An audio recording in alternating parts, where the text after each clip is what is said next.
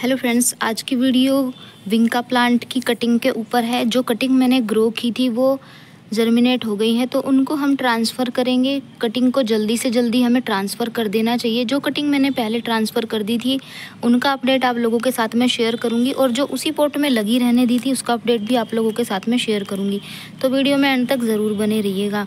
Hybrid सदाबहार की cutting आप लगा सकते हो। ये पौधे आसानी से फ्री पर में ही घर पर तैयार हो जाते हैं।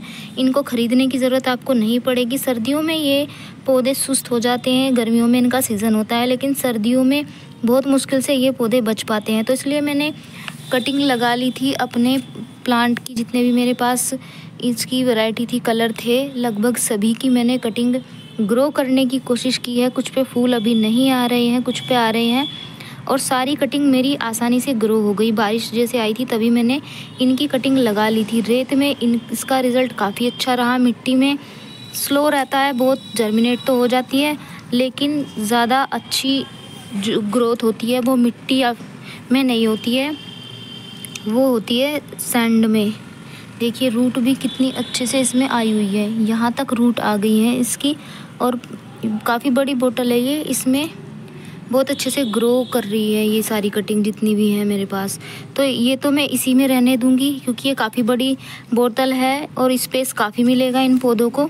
इसमें कलर में कर लूँगी जिससे कि ये एक गमला बन जाए, उसका वीडियो भी आप लोगों के साथ में ज़रूर से शेयर करूँगी। तो इसको तो हम साइड में रख देते हैं।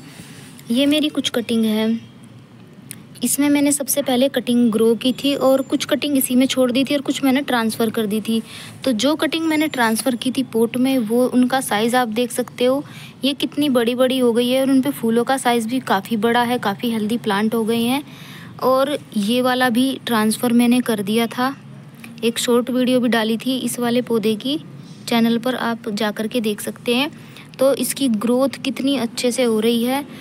और ये वाले पौधे आप देख सकते हो, इनकी कंडीशन क्या है? ये इसी पोट में से ट्रांसफ़र करके मैंने ये वाला पौधा लगाया था और इसकी ओवरऑल ग्रोथ आप देख सकते हो। तो बड़े पोट में जल्दी से जल्दी आपको ट्रांसफ़र कर देना चाहिए। पौधों को उन पर अच्छे से ग्रोथ होने लगती है और इस तरह से फूल भी आने लगते हैं। तो ये रिज़ल्ट रहता है। तो मैं इनको भी ट्रांसफ़र करने वाली हूँ आज। जो खाली गमले मेरे पास पड़े हुए हैं, काफ़ी बड़ा पोट है ये कटिंग को। मैं उसमें ट्रांसफ़र कर दूँगी। कुछ कटिंग इसमें भी लगी हुई है। इस वाले कलर की कटिंग काफ़ी अच्छी रही है। सभी पे अच्छे से फूल आ रहे हैं।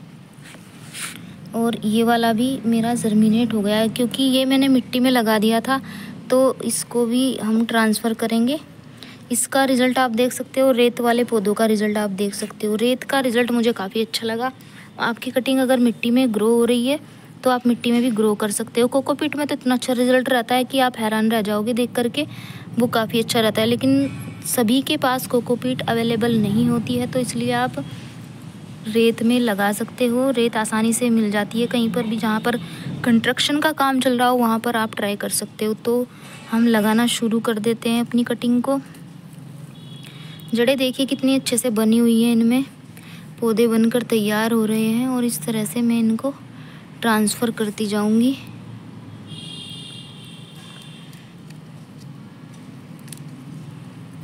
अलग अलग प्लांट की कटिंग है ये। अभी तो मैं इनको इसी पोट में लगा रही हूँ। थोड़े थोड़े गैप पे हम इनको लगा देंगे। स्पेस मिलेगा तो पौधे अच्छे से ग्रो करेंगे। फिर आगे आने वाले सीज़न में हम इनको ट्रांसफ़र करके नए पोट दे देंगे। क्योंकि सर्दियाँ आने वाली हैं, सर्दियों के लिए भी मुझे गमले चाहिएँगे। तो इतने गमले नहीं हैं मेरे पास, जो सर्दियों के फ्लावरिंग प्लांट हैं, वो भी मुझे ख़रीद के लेके आने हैं। तो इसलिए ये वाला पौधा देखिए, कितनी अच्छे से ग्रोथ हुई है इस प्लांट की। काफ़ी अच्छी ग्रोथ इस पौधे ने ले ली है। ये देखिए, इसको ऐसे हम ट्रांसफ़र कर देते हैं।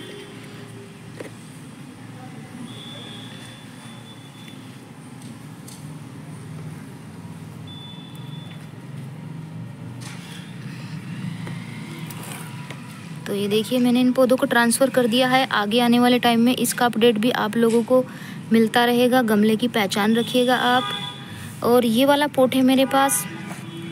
इसमें तुलसी का पौधा लगा हुआ था, लेकिन ये सूख गया अपने आप ही।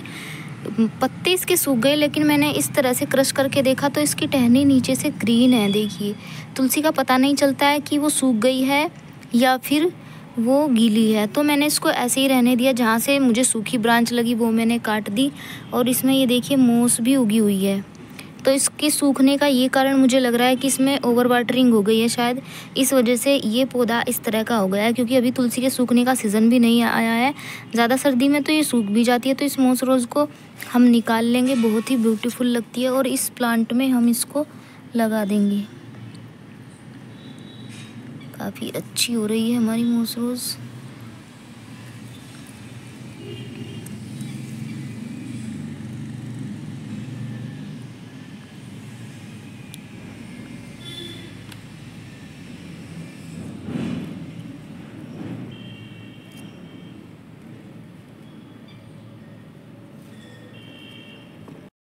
मैंने मोसरोज़ को इस अपने मनी प्लांट में लगा दिया है। ये बहुत खूबसूरत लगेगा देखने में और बहुत ही प्यारा लगेगा।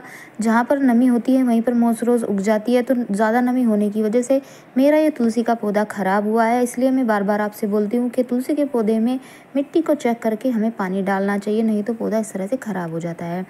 तो तुलसी के पौधे के बारे में मैंने आपको केयर टिप दे दी है। तो ये मैं जो प्लांट है, ये वाले इसमें ग्रो करूँगी। दो ही कटिंग में इसमें लगाऊँगी क्योंकि ज़्यादा बड़ा गमला ये नहीं है तो स्पेस पौधों को नहीं मिल पाएगा। और कुछ टाइम के बाद मैं इनकी, मैं खाद भी डाल दूँगी। अभी मैंने इनको ट्रांसफ़र किया है तो अभी खाद मैं नहीं डाल रही हूँ। इनमें जैसे ही ये जड़ मिट्टी को पकड़ लेंगी कटिंग मेरी तो कुछ टाइम के बाद मैं इनमें लिक्विड फर्टिलाइज़र का यूज़ करूँगी, उसका वीडियो भी आप लोगों के साथ में शेयर करूँगी। बाकी की कटिंग मैं इस बड़े वाले पोट में ही लगा दूँगी, क्योंकि इसमें अभी स्पेस है कटिंग इतनी ज़्यादा बड़ी नहीं है, और गमले भी मेरे पास इतने खाली नहीं हैं, मैं इतने सारे गमले कहाँ से लेकर के लाऊं, क्योंकि सर्दियों के पौधे भी आने लगेंगे अब तो वो भी मुझे लगाने हैं तो इसलिए एक पोट में ही मैं इनको ट्रांसफ़र कर रही हूँ, जिसमें पहले लगाए हुए हैं, उससे बड़ा तो गमला ये है ही। खाद डाल दूँगी तो अच्छे से ग्रोथ और ज़्यादा हो जाएगी पौधों की।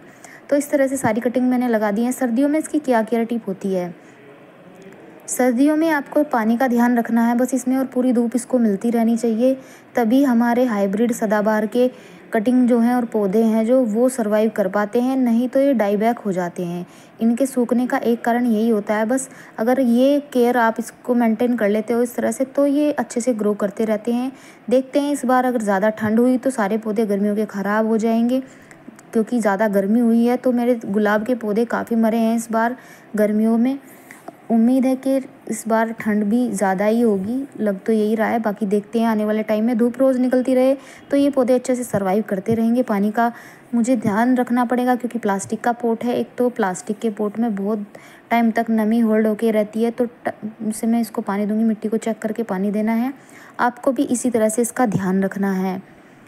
तो ये थी आज की वीडियो। उम्मीद है आपको ये कटिंग मेरी पसंद आई होगी। आगे इन कटिंग का क्या रिज़ल्ट रहेगा, आने वाले वीडियो में आप लोगों के साथ में शेयर करती रहूँगी। तो मिलते हैं नेक्स्ट वीडियो